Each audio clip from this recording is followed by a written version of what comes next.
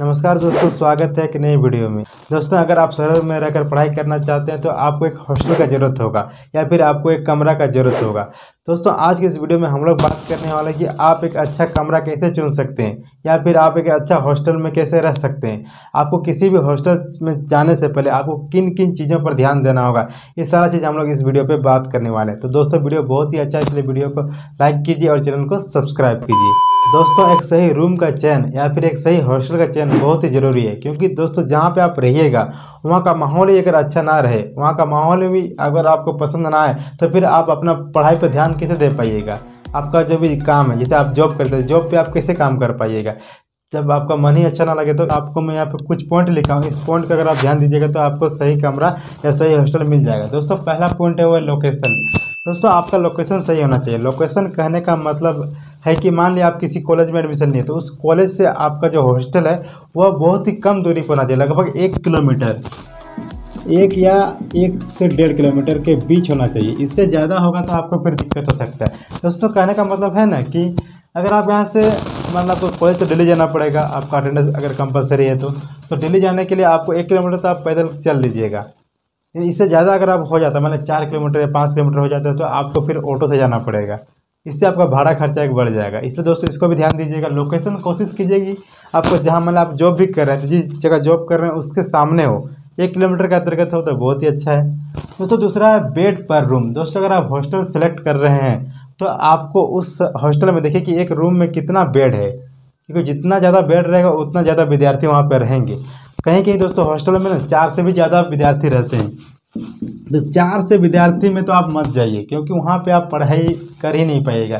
क्योंकि वहाँ पढ़ाई का माहौल ही नहीं रहेगा। ज़्यादा आदमी रहेगा तो फिर डिस्कशन ज़्यादा होगा, बातचीत ज़्यादा होगा, इससे पढ़ाई पे फोकस आप कब, कम हो जाएगा आपका।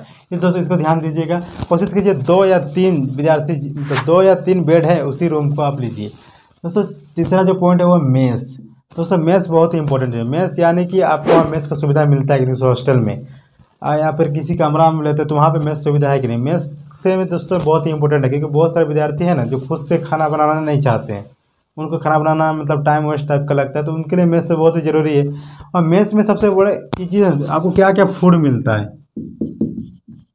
ये भी देख लीजिएगा, आप अगर हॉस्टल में आप रहना चाहते हैं तो वहाँ देखिए कि मेस सुविधा क्या है कि नहीं। अगर मेस सुविधा है तो वहाँ पे आप लोग क्या क्या फ़ूड मिलता है क्या क्या खाने का मिलता है, उसका मतलब पूरा मेन्यू का है आप देख लीजिए कि संडे का कौन देता है मंडे का क्या मिलता है, ताकि आपको पता चल जाए कि माने कोई नॉनवेज खाता है, कोई नहीं खाता है तो उसको भी पता चल जाएगा। सच है तो मेस मतलब क्या क्या फैसिलिटी दिया जा रहा है मेस में, ये भी आपको पता चल जाएगा।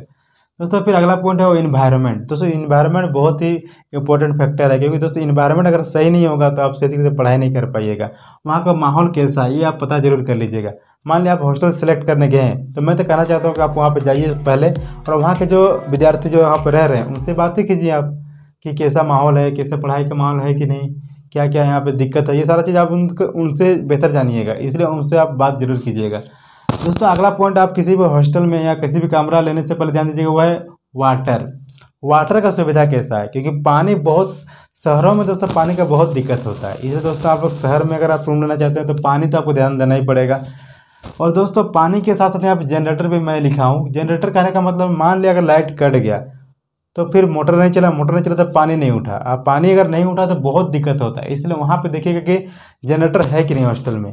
जनरेटर है तो अच्छा बात है, नहीं है तो दोस्तों, पानी का दिक्कत होगा। पानी के लिए वहाँ पे देखिए कि चापाकल है कि नहीं। चापाकल हो या कुआँ हो, ये होना चाहिए। ये है तभी वहाँ पर रूम लीजिएगा, नहीं तो फंस जाइएगा आप दोस्तों, क्योंकि पानी का बहुत दिक्कत होता है, अगर शहर में लाइट कट गया तो। दोस्तों, अगला है बाथरूम। दोस्तों, बाथरूम भी बहुत इंपॉर्टेंट है, क्योंकि दोस्तों, बाथरूम को ध्यान इसलिए देते हैं क्योंकि बहुत सारे विद्यार्थी ऐसे होते हैं ना, अगर उनको सही बाथरूम नहीं मिला तो फिर उनका वहाँ रहने का मन ही नहीं करेगा। इसलिए बाथरूम को देखिए, वाशरूम कैसा है पानी सही से आता है कि नहीं, ये सारा चीज़ आपको ध्यान देना होगा। दोस्तों, जो अगला जो पॉइंट है वो है चार्ज दोस्तों हॉस्टल में रहने के लिए या फिर उस जहाँ पे आप रेंट लीजिए, उसमें आपको कितना किराया देना पड़ेगा, ये भी बहुत ही इंपॉर्टेंट है।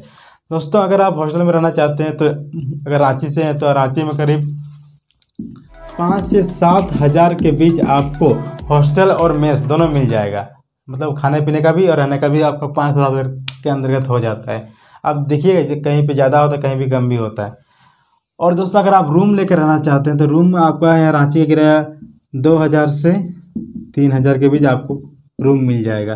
दोस्तों, अगला है सिक्योरिटी मनी दोस्तों, बहुत सारे हॉस्टल में ना सिक्योरिटी मनी मांगा जाता है। सिक्योरिटी मनी कहने का मतलब कि आपको एडवांस के रूप में कुछ पैसा मांगा जाता है। करीब चार हज़ार, पाँच हज़ार इस तरह का मांगा जाता है। तो मैं कहना चाहता हूँ, दोस्तों, आप इतना पैसा कभी नहीं दीजिएगा। इससे कम ही देने की कोशिश कीजिएगा, क्योंकि दोस्तों ये लोग पहले ले लेते हैं बाद में बोलेंगे ना, जिस समय आप कमरा खाली कीजिएगा, उस समय आपको ये पैसा लौटा देंगे। मतलब ये कहने का मतलब नहीं, एक महीना का भाड़ा पहले ही ले लेना चाहते हैं। तो यहाँ पे आप इसे देख सकती है मतलब बात कीजिएगा अच्छा से। बहुत जगह तो ऐसा होता है कि सिक्योरिटी मनी लेने के बाद, वो सिक्योरिटी मनी आपको देता भी नहीं है। ऐसा कभी हो जाता है कई हॉस्टल में, इसलिए आपको सही तरीके से बात कीजिएगा तो आपको कोई दिक्कत नहीं होगा। दोस्तों, अगला है टाइमिंग दोस्तों, अगर आप हॉस्टल में रहना चाहते हैं तो आपको गेट वहाँ गेट कितना बजे ओपन होता है और कितना बजे क्लोज होता है, ये आप देख लीजिएगा। क्योंकि दोस्तों, अगर आप मान लिया जॉब कर रहे हैं तो जॉब के लिए तो कभी रात सात, आठ, नौ तक बज सकता है रात का। तो उस समय आपका क्लोज गेट अगर क्लोज हो जाता है तो फिर आपको कोई दिक्कत तो नहीं है ना? वहाँ पे गार्ड मान लिया, आपको बोलने लगता है कि आप इतना रात को आते हैं। ऐसा समस्या नहीं होना चाहिए, क्योंकि आप काम तभी कर पाइएगा ना दोस्तों अच्छा से। जब आप जिस जगह पर रहते हैं, वहाँ आप सही तरीके से रह पा रहे हैं तब। आपका घर ही अच्छा नहीं है। घर में ही आपका मन नहीं लग रहा तो क्या काम में मन लगेगा? नहीं लगेगा। आपका पढ़ाई में मन लगेगा? पढ़ाई में भी मन नहीं लगेगा। दोस्तों, बहुत सारे हॉस्टल में वाईफाई का फैसिलिटी होता है। आजकल तो हर हॉस्टल में हो रहा है। इधर देखिएगा, इसका भी फैसिलिटी है कि नहीं? क्योंकि अभी मैक्सिमम बच्चे जो होते हैं, जो तैयारी करते हैं, वो तो ऑनलाइन ही तैयारी करते हैं। ऑनलाइन तैयारी करते हैं तो आपको तो डाटा का बहुत अधिक ज़रूरत पड़ता है। तो वाईफाई फैसिलिटी है तो अच्छा बात है। वहाँ पे आप अच्छे से पढ़ पाइएगा। दोस्तों, अगला है मैनेजर। मैनेजर बोलिए, या फिर ओनर बोलिए। इसका बिहेवियर कैसा है? मालिक वहाँ कैसा बातचीत करता है आपसे? मान लिया आपका भाड़ा थोड़ा लेट हो गया। आप किसी कारण बस तुरंत पैसा दे नहीं पा रहे हैं तो उसमें मालिक आपके भड़क रहा है कि अच्छा से बात करिए भी इम्पोर्टेंट है। यहाँ पर भी आपका है, साथ ही साथ मान लिया कोई प्रॉब्लम हो जाता है हॉस्टल में। मान लिया पानी का प्रॉब्लम हो गया तो पानी जल्दी वो मतलब उपलब्ध करा रहा है कि नहीं? इलेक्ट्रिसिटी बिगड़ गया किसी का तो वह तुरंत बना रहा है कि नहीं? कुछ भी दिक्कत हो रहा है तो वह मतलब तुरंत सॉल्व हो रहा है कि नहीं। तो वहाँ उसका थोड़ा पता कर लीजिएगा आप। दोस्तों, अगला जो पॉइंट है वो विंडो दोस्तों विंडो भी एक इम्पोर्टेंट फैक्टर है। इसे मैं इसलिए लिखा हूँ क्योंकि दोस्तों, बहुत अब जब भी कमरा लीजिएगा ना तो देखिएगा वहाँ पर विंडो है कि नहीं, खिड़की है कि नहीं। क्योंकि दोस्तों, खिड़की अगर नहीं रहेगा ना तो आपको नेचुरल हवा नहीं मिलेगा। या फिर नेचुरल आपको जो सनलाइट है वो नहीं मिलेगा। इससे आपको मतलब दिक्कत हो सकता है। मुझे तो पर्सनली बहुत ही अच्छा लगता है खिड़की।